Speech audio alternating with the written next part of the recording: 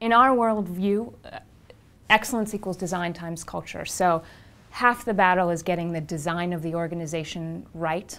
And um, these are things like you know, choosing very strategically where to excel and where to underperform. And that, that's a design function. And you have to make sure that the business model works and that it can scale and that it's systematically setting people up to perform. The other half is, is culture. And you know, one of the reasons that culture matters so much in service organizations is that we need our employees to um, every day on the front lines make decisions that are that end up defining the customer experience.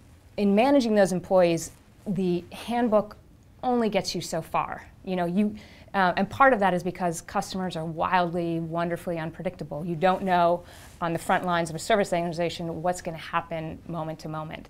And culture tells you what to do where, um, when there isn't a policy or precedent.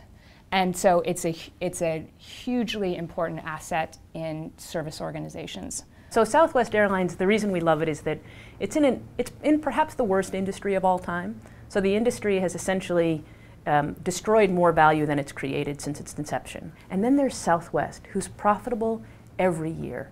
Every year for one decade, every year for another decade, every year for another decade. They do it by this beautiful elegance of focus. They are very comfortable saying, we do this, we don't do that, which means they have great strategy. And they're very great at delivering excellence because they say, we'll do these things well, turnaround time, being on time, we'll do these things badly. Go on board a Southwest Airlines flight and ask someone for a full meal. They have no shame, no apology. They might mock you a little bit in their reply. They understand what they're optimized to be great at. They understand what they have to give up in order to deliver on that. And they understand it from the top of the organization all the way down to the bottom. One of the things that Southwest does in the training experience is um, they get everyone, all the new recruits in a room, and they have um, everyone stand up and share their most embarrassing moment. So people in the moment think, this is pretty hardcore. I mean, they're, they're testing us for poise and our ability to com communicate in a stressful situation.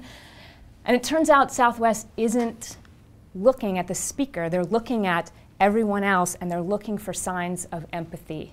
And so when they see signs of empathy in that crowd, those are the people that they end up hiring. So it's, you know, it's a great example of uh, distinct clarity on the values that are important to them and figuring out how to find them uh, in the hiring process. Excellence is design times culture. You have to get the design right and you have to get the culture right. Great design, bad culture won't work.